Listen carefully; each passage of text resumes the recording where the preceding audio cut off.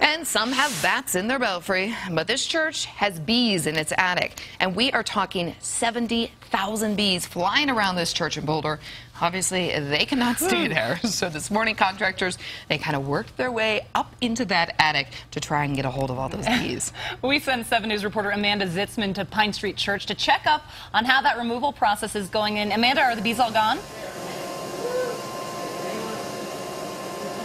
Well, right now, take a look. They're actually vacuuming all of the bees up out of their live. They have a special container to hold them, but some are loose and flying around, which I will admit is mildly terrifying. Tim Brood with Highland Bees was nice enough to go in with a cell phone to show us the hive. Take a look. Uh, these bees are very gentle uh, so far. And uh, uh, I can tell you, uh, I'm certainly very appreciative how gentle they are. So far, they've removed about 20,000 bees. We're talking a total of anywhere from 40 to 80,000. Now they're starting to remove the comb piece by piece. The comb itself could be 20 years old, but the bees didn't necessarily live there for 20 years. Maybe they died, another set of bees moved in.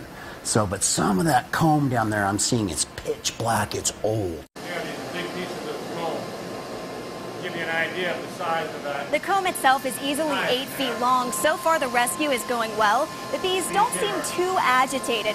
Pine Street Church really went the extra mile to rescue them. Once they're done here, they'll take them out to a farm and see how they do. They're hoping the queen survives. If she doesn't, they'll marry the bees into another hive. And now, take a live look at this. This is some of the comb that they're starting to bring out. You can see all of the bees there. This is one of the black combs that he's talking about, so that means it's much older. I did actually try some of the honeycomb, and I have to tell you, it's pretty good. By the way, if you're wondering, Tim tells me the largest comb he's seen is actually six times this size. Live in Boulder, Amanda Zitzman, 7 News.